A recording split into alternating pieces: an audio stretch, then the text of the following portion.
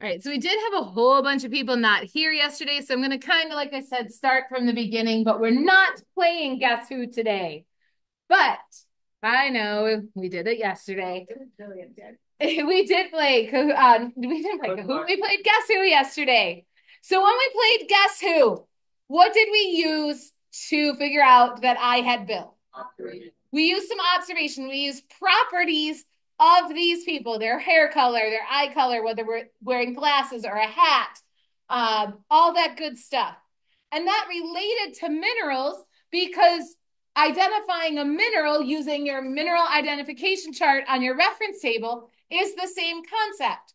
We are going to use properties of minerals to determine which mineral we have left. And those properties we're going to focus in, which by the way, if you weren't here, this is the first thing in your notes on page two.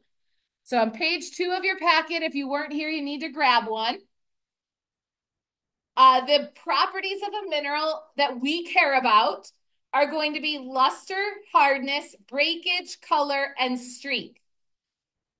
These, instead of saying, does your character have red hair or blonde hair, we're going to ask, does your, what kind of luster does your mineral have? What's its hardness? What's kind of breakage and all of that stuff. And that will identify us as, or give us the exact name of the mineral, just like we figured out yesterday that I had Bill. This, by the way, is exactly the same thing you guys did last year with uh, using bird beaks and what they ate to identify the name of the bird or which bird group it went into. Really, we're doing dichotomous keys again.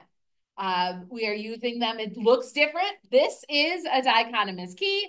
It looks different than the one you used when you guys did Guess Who as little kids. You were still using a dichotomous key. You just didn't know it. It was getting you ready to actually use a real concept. So uh, a lot, just like in Battleship, if you ever played Battleship, it was really getting you ready for graphing and latitude and longitude stuff. So sometimes games are actually good things. In fact, we're going to refer back to Minecraft a whole bunch this chapter. Yep, Minecraft has its little. They they never did. No. And I still don't understand Minecraft, so I need people to help me out with that one. But anyway, Yesterday, we did get started a little bit. We talked about how just like genetics and how your DNA is put together um, kind of determines what you look like in your properties. The same is true with minerals, but instead of DNA, we're going to have atoms. So the way that atoms are put together, this is on the back on page two, yeah. The way atoms are put together on the inside of a mineral will determine the properties of a mineral. So how hard it is or what kind of luster is all determined by how the mineral is put together, how the atoms are put together inside of the minerals. The key here is you get this last bullet. So if you did not copy this all down yesterday, please make sure you at least have this last bullet that says uh, the internal arrangement of atoms. So the properties of a mineral are determined by the internal arrangement of atoms. Again, just how the atoms are arranged inside the mineral. Okay, that was a catch up from yesterday. Then we, so if you didn't get that, you'll have to grab that from someone else or from teams. We started with luster yesterday. I didn't like how we went about it yesterday, so I've changed it up a little bit today. So luster is described as how the mineral reflects light. But we don't want to just talk about that as being shiny or dull. In earth science, the two types of luster are metallic and non-metallic. So this is where we left off yesterday. Metallic simply means looks like a metal. It does not mean it's shiny. It means it looks like metal. Not all metal is shiny. Non-metal just simply means it does not look like metal. So metal things don't have to be shiny and non-metal things can be shiny. So I want you not to think about the word shiny or anything that means shiny. We simply are asking ourselves when you have a mineral in front of you, Does it look like metal or does it not look like metal? Now, there are groups of minerals around the room. So it looks like Liza's got a bunch. London has a bunch and Lily has a bunch. So what I'm going to have you do is uh, Olivia and Trey over, go gather around Liza. Um, this these two rows gather around London and the remaining two rows gather around Lily. You have a pile of minerals there. I would like you to put those minerals into two groups, metallic and non-metallic. So take a few minutes and do that right now.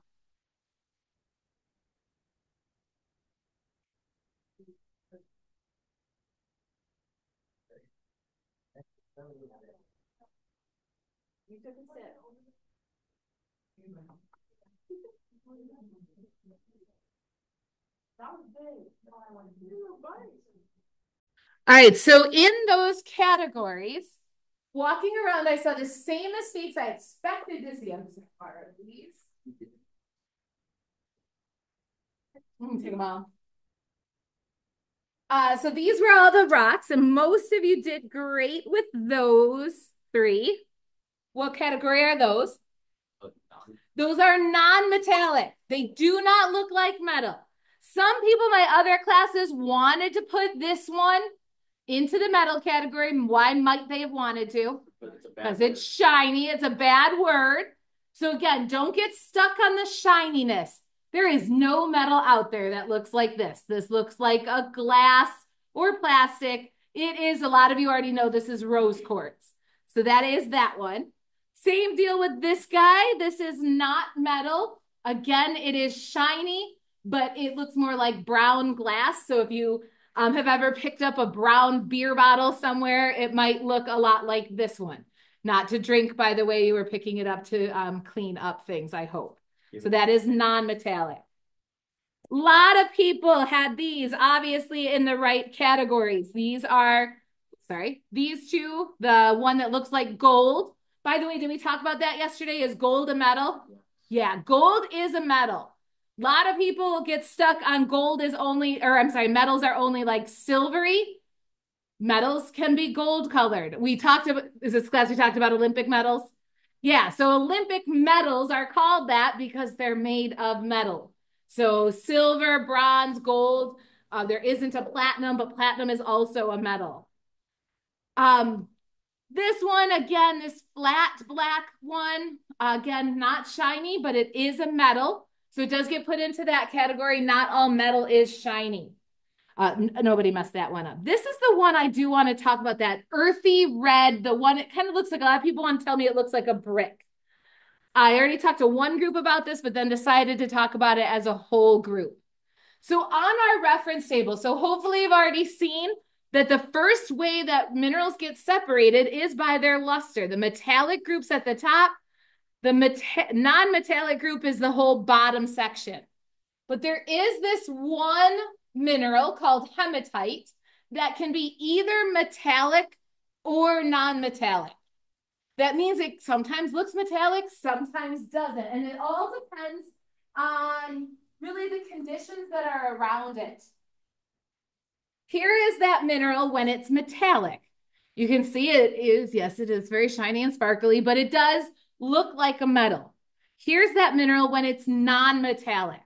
If you notice, it's really a rusty version of uh, of the same rock. So rust happens on metals. So that's why this one is still considered metallic. Um, one way when you are handed raw uh, minerals and told to identify it, one thing you should always do is check out this one as well. This one is super easy to identify by, color. It's either metallic silver, that's that one, no doubt. Or earthy red. So it kind of just looks like a brick red color. So again, that rust color. So that one is always fair game, um, no matter what your mineral looks like. If it's metallic or non-metallic, it could always be hematite.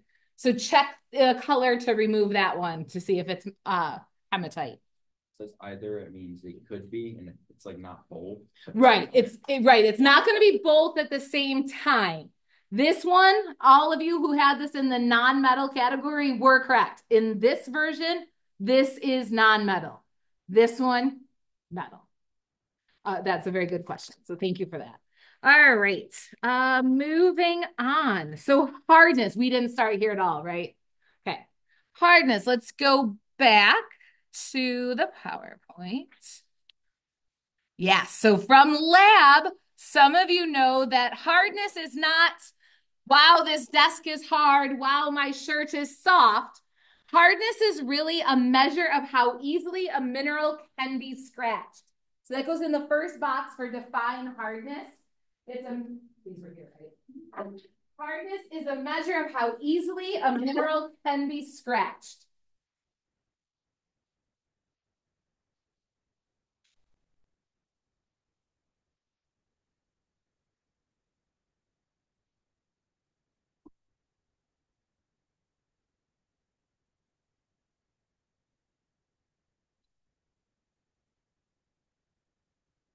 From lab, do you guys remember the hardest known mineral? Diamond.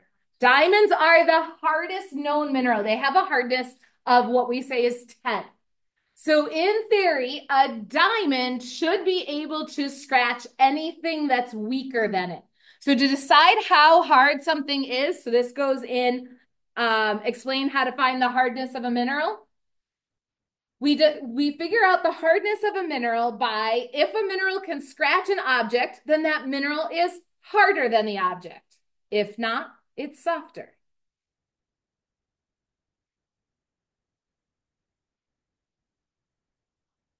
Isn't there a scale? Yes, it's it's the next mm-hmm. slide. It's called Mohs scale of hardness, M O H N. Mohs scale of hardness. So you're not just scratching it on any old object. You're scratch you're using objects with known identifiable hardnesses to give an actual numeric value. So let me show you on the next slide once everybody's done writing. You have a Mohs. I do not, I can put one together for the most part, but I don't have a specialized. You? Yeah. I'll show you in a second. Mohs. M O H N. Again, it's on the next scale or slide.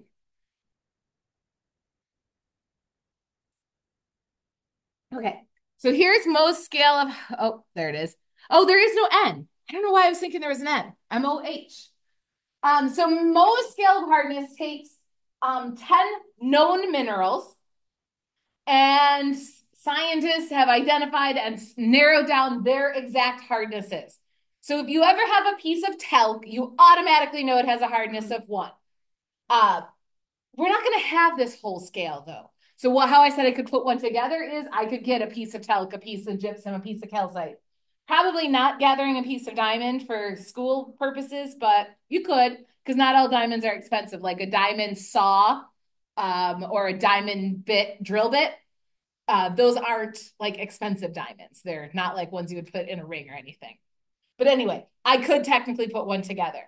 We use common other objects, such as your fingernail, a penny, uh, iron nail, a piece of glass.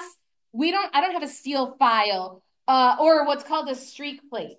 These, again, are objects that we know the hardnesses of these, and we're going to use them to figure out the hardness of different objects. So let's go through how this would work. So I'm going to stop. Whoa.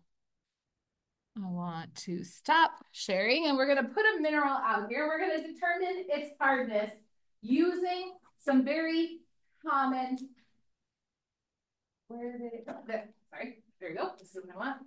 We're going to determine the hardness using those common objects. So we have this mineral number four here.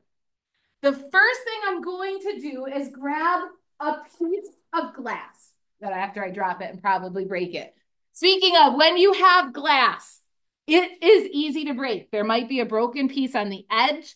Um, it might get chipped off. It might have gotten shattered. So one thing I would ask of you is please don't grasp the glass like this. So doing exactly what I'm doing is probably not allowed because you could have a sharp piece on the edge and you now could potentially cut yourself or get some glass on you. The other thing is we're going to use this mineral to scratch the glass. If you're pushing too hard, you could accidentally shatter the glass. Again, I don't want that in your hand. Glass in your hand, blood equals paperwork. I don't want to do it. So whenever you're testing the hardness, go ahead and put the glass plate down on the desk and you're going to go ahead and use some force. And you will see, so there were some scratches on this already, but I don't know if you guys can see from where you are. It does not add any scratches to this glass. So by the way, what's harder, the glass or the mineral? The glass is harder. Now, from that PowerPoint slide, does anybody remember the hardness of glass? 5.5. You do not need to memorize that, by the way. It will always be provided. So since glass has a hardness of 5.5, what can I say about the hardness of this mineral? Less than 5.5, which really helps because there's the hardness on the reference table. Hopefully you realize this one was non-metallic. We can say it is not any of these minerals. So I know for sure it's not potassium feldspar, plagioclase feldspar, olivine, quartz, or garnet because they're too hard. So if this was the Guess Who game, I would be knocking down these four minerals because they're not they're not mine. Mine is too soft to be any of these guys down here. Then we're going to go to the next object, which was a steel nail. Now, can I, is there any way I can scratch, like, can I try to do this and see if it's scratching? We're going to use the nail to see if it scratches this. Nail, by the way, was 4.5. It scratches. What's harder, the nail or the mineral? The nail is harder. So if this is 4.5, what can I say about this? It's less than 4.5. So I can even eliminate some more. Before this was an option and this was an option, they're no longer options. If this was guess who, I'm knocking them down. Now I'm going to move on to a penny. A penny has a hardness between 3 and 3.5. What's harder? Penny is harder than the mineral. So now I know this is less than 3 or 3.5. Again, can I eliminate some? Well, now I can eliminate fluorite because that has a hardness of 4. Next thing is my very own fingernail. Again, we're not, I'm not trying to scratch this way. I'm not in the market of ruining your fingernails. What you will do is take your fingernail and see if you can scratch that. And I definitely did. Fingernails have a hardness of 2.5. So this is less than, by the way, we're going to stick with less than or equal to 2.5. So now we still have a whole bunch, but we have definitely narrowed this down quite a bit to what this mineral could be. So that's how you use hardness and the reference table together. We definitely have some time to keep going. After hardness, we're going to look at what I define as breakage, how it breaks. There are two types of breakage, and those are cleavage and fracture. Cleavage really means does the mineral cleave? That's what it means. It's not the cleavage that you might originally be thinking. It means can the object cleave? And when something cleaves, it breaks apart into two nice broken pieces or breaks into these um, separate surfaces with flat, smooth surfaces. So cleavage, definition of cleavage is tendency of a mineral to split or separate along flat surfaces.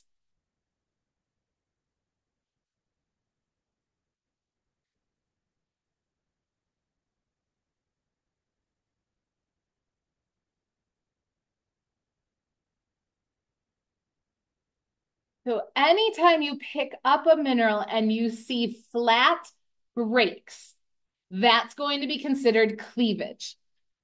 Versus the opposite of cleavage, the only other way it's going to break is called fracture.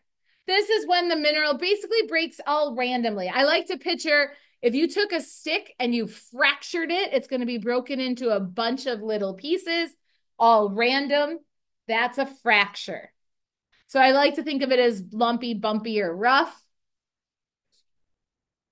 Yes, I think ice cubes would break all randomly. Mm. I'm trying to. They wanna be a bunch. Yeah, that was- Yes, they want to be a bunch of little pieces. The only thing I caution you for is when you're figuring out is it fracture or cleavage? It's not about how it feels. So even though I put rough, lumpy, bumpy, or rough, I'm not talking about how it feels. I want you looking at the individual breaks, and I'll pass this around, but Carson, yeah, Carson, what do you think there? What do you see where it's broken? How did it break? What? It's broken. So even though when you touch it, it feels bumpy, right? So if you look at each place it's broken, they break straight down and straight over. They have very perfectly straight breaks. So again, don't touch it, but look at how it breaks. In fact, I have a broken piece of it right here. Um, and I can show you. So stop my share. This broken piece is broken in a perfectly straight piece. It broke straight up and down. Uh, that is that's some perfect cleavage or really nice cleavage. Don't make this weird, people. All right. After whether it has cleavage or fracture, actually, let me show you on the reference table. On the reference table, they identify whether it has cleavage or fracture by the check mark. so if the check mark is to the left of the line, it's in the cleavage column. If it's to the right, it has fracture. So this is the one we were looking at before when I was testing hardness. What do you think? Cleavage or fracture? Cleavage. You can't get much straighter than that. But let me also point out, see how it's all rough and bumpy and lumpy on this side? This side does not have cleavage, but the mineral is determined to have cleavage if it's anywhere on it. So this only cleaves in one direction. This way, it does not cleave in on this side. But if there's any straight flat pieces, that's cleavage, which will help us. If you remember, we had gotten all the way up to those were our choices before. This helps us a little bit because now I know for sure it's not this one. That one would have been sulfur that had cle- uh, fracture. This one has cleavage. So let's keep going. After cleavage and fracture, the next thing you're going to look at is color.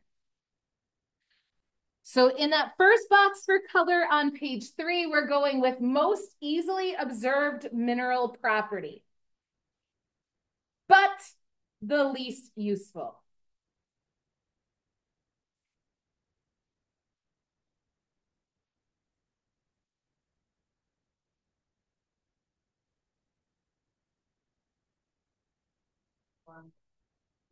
Yes. So that was going to be my next question is why is it least useful? So uh, London just gave us one example. What did you say out loud again, London?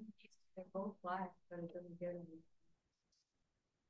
Lots of minerals can have the same color. So in front of uh, London, she sees multiple black, blackish gray minerals.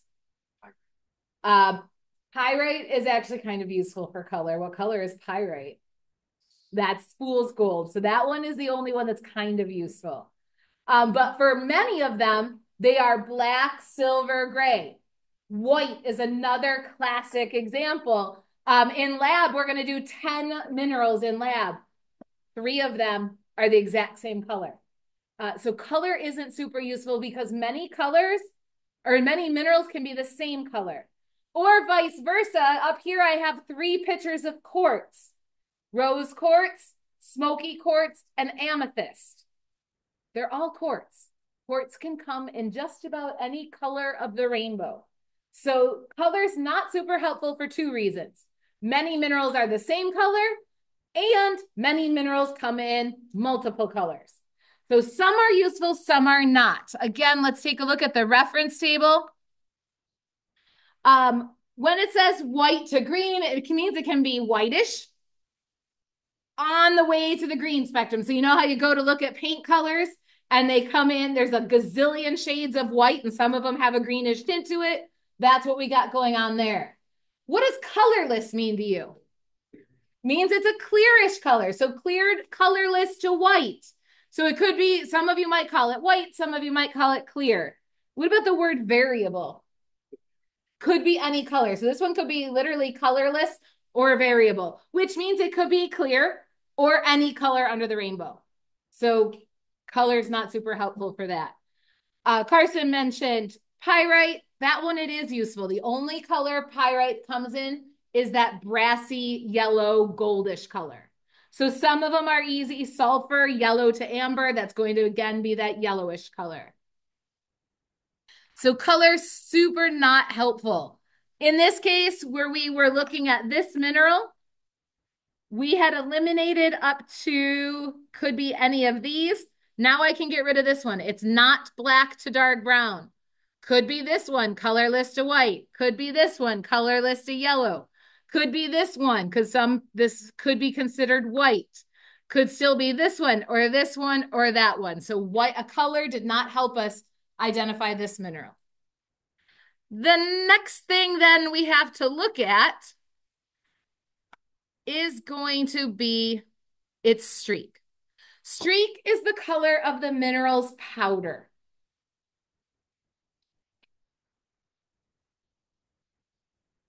How are we going to powder a mineral? Got to look at the ends. We got to look at the powder form. There's a couple ways. You could grab a hammer and make a powder. Please don't do that because then I'd have to buy more minerals. So we don't use a hammer. We use what's called a streak plate. So that's a streak plate up there. A streak plate is just a piece of white tile.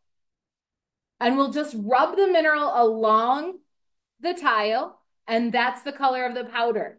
You, again, cannot assume this based on the color of the mineral. That's going to be the color of the powder. Up there, that's a perfect example. That uh, mineral is more of that gray-black color. What color is is it streak?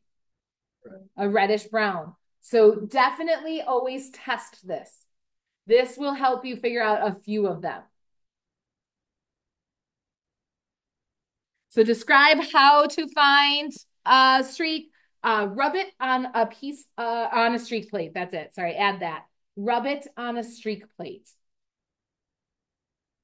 So it says, describe how to find the streak. Rub it on a streak plate. or scratch it. That's another way on a, no, that's the hardness word. Never mind.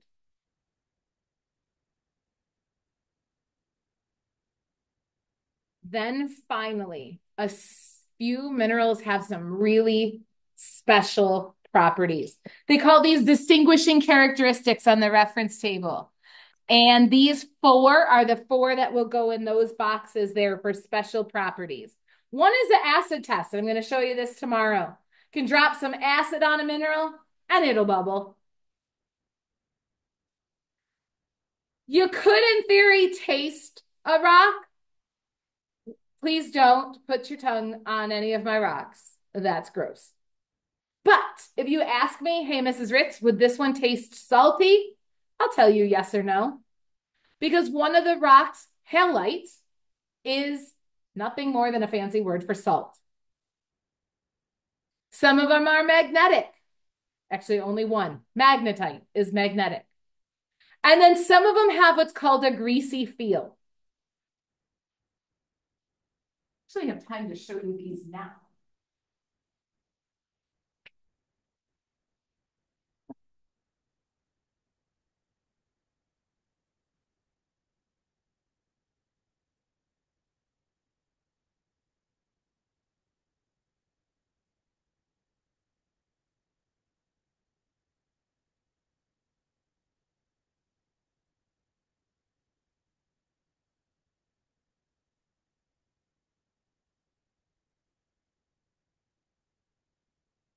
There, why don't you grab your reference table and see it if you can search down the distinguishing characteristics column and find me a mineral that will bubble with acid. Calcite. Calcite is the one. Keep going. Is there any more? Dolomite, that one says if it's powdered, so if you rub it on a streak plate and that powder bubbles with acid, are you guys going to need that back? Let me get that in a second. So here's a piece of calcite. Let me show you what I mean by bubbles with acid. I have up here very weak hydrochloric acid. It's basically a strong vinegar. It's not much stronger than vinegar that you would use um, at home. And I, if I put it on here, you guys, looks like hydrogen peroxide. Or when you put vinegar and baking soda together. I mean, we're not talking about some impressive uh, chemistry experiment up here, just a few bubbles. That's what I mean by bubbles with acid. There are some that are magnetic, but not all of your minerals are going to be magnetic. So here's a magnet off my board. Here's the mineral that gets attracted to a magnet.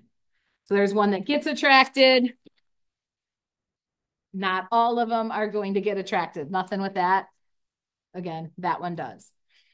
Uh, when I say that they taste again, if you licked them, it would taste like um, salt. Don't taste them, please, though. And then some of them, and I'll give you this rock, I'll pass this one around if you want. Some of them will have a greasy feel. When you take this rock right here, kind of rub it on your hands, it almost feels slippery. To me, this reminds me of if I had just put lotion on my hands and then picked up a mineral. So it's not like, like it doesn't, it's not like overly greasy, but it does feel a little slippery. So I'll let you guys feel this to see what I mean by a greasy feel. Uh, so I'll put those notes back up, but once you have the dis the special properties, we are done for today. There are the special properties.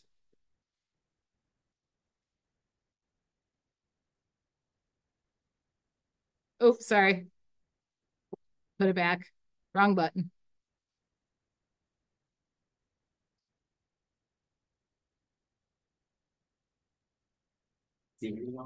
Breathe. Yeah, I know. It was so loud, I was eating that and there's some. I'm sorry?